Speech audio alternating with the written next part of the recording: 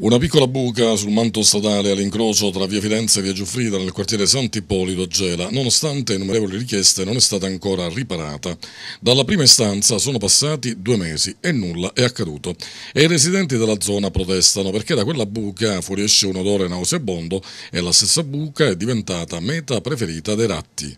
L'ho visto io, l'ho visto. Una di mattina era bello grosso e, e di sera c'erano quelle piccoline e se n'è andato dentro il gioco, della raretta gioco. I problemi sono che io, se siamo malati, siamo, siamo malati marito, marito e moglie, ho letto l'abbiamo gioco, ho letto l'abbiamo gioco e avevo quasi due mesi che, che, che abbiamo feto, feto di questo fuoco del gioco. Si mettono da allora due per, me, per, per montare, montare questo gioco io non sono visto un orecchione. Un piccolo intervento, non chiedono altro i residenti. Noi dopo che abbiamo messo a confronto Caltacqua e il Comune si è venuti a conoscenza che la responsabilità è del Comune. Sono venuti, hanno posto delle transenne però a tutt'oggi i lavori sono ancora da eseguire.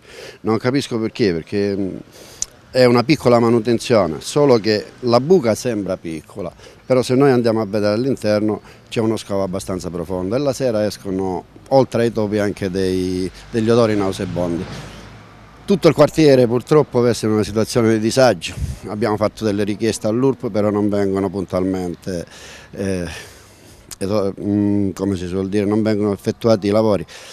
Anzi, abbiamo fatto una richiesta nella via Lecce perché c'era un palo della luce che aveva dei problemi perché per la ruggine stava cadendo, sono venuti, hanno tagliato il palo, sì è vero, hanno risolto il problema della cadenza del palo, però la signora è senza luce da circa due mesi.